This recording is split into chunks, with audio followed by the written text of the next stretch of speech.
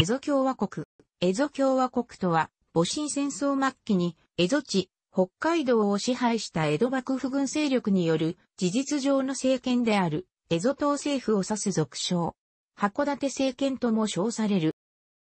慶応3年、1867年に15代、征夷大将軍徳川義信が、大政奉還を行って、江戸幕府が消滅し、山岡鉄太郎の圧戦により、新政府軍の大総督府参謀である、西郷隆盛と徳川家陸軍総裁の勝海舟の会談で、江戸城無血会場が決定する。海軍副総裁、榎本武明は、旧幕臣の保護と北辺防備を目的として慶応4年、1868年8月19日に、品川沖から海洋丸を機関に8隻の軍艦を率いて、江戸を脱出し、江戸地に向かった。途中仙台で会津戦争で敗走した伝習隊、急進戦組や将棋隊の残党を吸収し、北上、鷲の木に上陸し、各地を平定、五稜郭を攻略し、函館府知事、清水谷金成を敗走させ、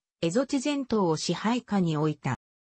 榎本ら蝦夷島政府の関係者が、蝦夷共和国と名乗ったことはなく、また独立主権国家たると宣言したわけでもない。また、主権的な独立や地方割拠を目論んだわけではないため、政権、共和国などの故障は適切ではない。最初に共和国、リパブリックという表現を使ったのは、1868年11月、英仏軍艦艦長に随行し、榎本と会見した英国公使館書記官、アダムズだった。彼が1874年に書いた著書、ヒストリー・オブ・ジャパンにおいて、函館成長をリパブリックと紹介し、その後、アダムズの表現に習うものが大多数となった。その目的、内実から言えば、エゾ島政府は、旧徳川将軍家維新によるエゾ地開拓団である。よく、榎本政権は諸外国から事実上の政権として認められていたと言われているが、実際には以下のような経緯だった。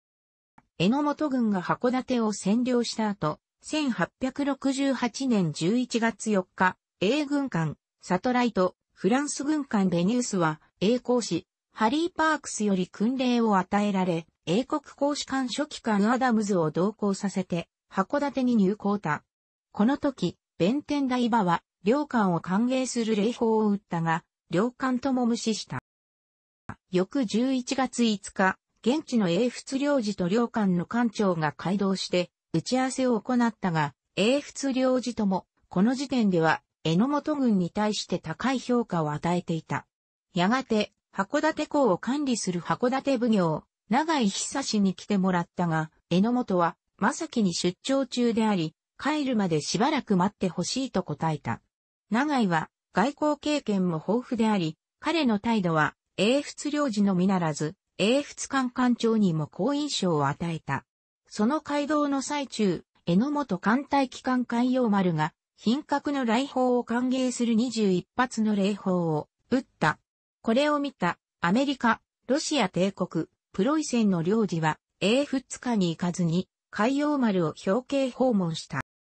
11月8日、榎本は、英仏領事と、英仏艦艦長と会見した。英仏側の言い分は厳しかったが、広報上了承せざるを得なかった。会談終了後、榎本は念のためメモランダムを要求し、英仏艦艦長は了承した。数日後、彼らは榎本に以下のような覚書を送ってきた。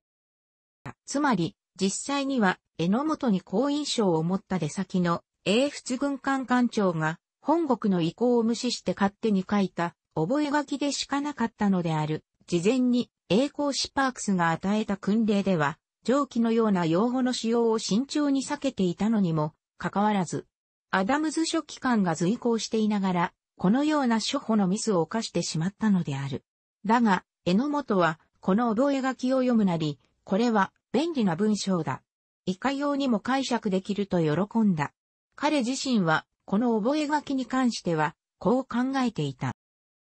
エゾ島政府の体裁を整えるため、日本で初めて公船入札が行われた。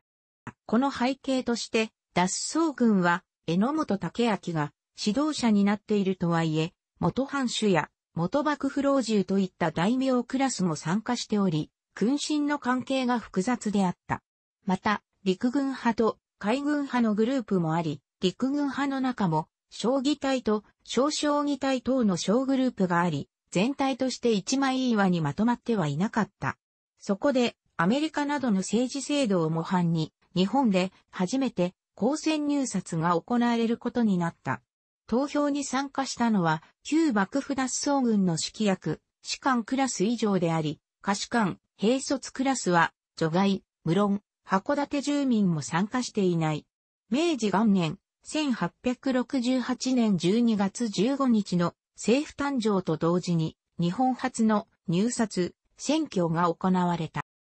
投票総数856票の内訳は以下の通りであった。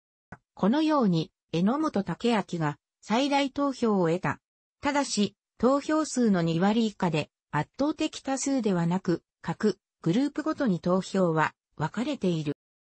また、これとは別に役職選挙が行われている。総裁、副総裁、海軍奉行、陸軍奉行、この入札の結果を参考にして、主要ポストは以下のように決定された。入札で票を得た者全員がポストについておらず、得票結果がそのまま反映されたわけではない。こうして政権としての体裁は一応整ったが、財政事情は悪化し、前もって用意していた軍資金も乏しくなっていた。そこで、旧幕府軍において資金調達を担当していた会計奉行の榎本道章と副総裁の松平太郎は、蝦夷共和国内で新貨幣を鋳造発行した。このことが後に脱走金の悪名を流すことになった。さらには、縁日の出店を回って場所代を取り立てたり、賭博場を黙認する代わりに寺線を巻き上げたり、果ては売春府から税を取ったり、函館湾から大森浜まで柵を巡らして一本木に関門を設け、そこを通る女子供にまで通行税を出させるなどといくことを行い、住民の反感を買うことになった。それでも、いよいよ財政的に行き詰まった旧幕府軍首脳は、函館の豪商から金品を徴収しようとしたが、だが、住民からは、旧幕府軍に対する反感が増し、新政府側のゲリラ組織、遊軍隊に参加したり、新政府軍に内通する者も出てくる始末であった。旧幕府軍は、陸軍と海軍に分かれ、以下のような組織となっていた。なお、レッシマン、レジマンというのは、フランス語で連隊を意味するをそのまま当て字にしたものである。1867年から横浜の大田陣屋で幕府伝習隊の教練をしていたフランス軍事顧問団から副隊長ジュール・ブリュネ砲兵隊ら5人がフランス軍籍を脱走してエゾ政権に参加した。その高い軍からの脱走者2人、軍歴を持っていた横浜在住の民間人3人、合計10人のフランス人がエゾ政権に参加した。ジュール・ブリュネは陸軍奉行、大鳥圭介の補佐役となり、4個、レッシマンはフランス軍人、ホルタン、マルラン、カズヌーブ、ブッフィエを指揮官としていた。また、海軍の2人と元水兵の1人は、都湾海戦に参加した。フランス軍人らは五稜郭陥落前に函館沖に停泊していたフランス船に脱出している。これらフランス軍人の通訳は横浜フッツ語伝習所でフランス語を学んだ田島金太郎らが担当した。大鳥圭介の南下機構ではブリュネを未だ年齢層若けれども性質礼儀カズヌーブをすこぶる。勇敢であり真っ先進軍の時にもしばしば馬ありたりと好意的に書いている。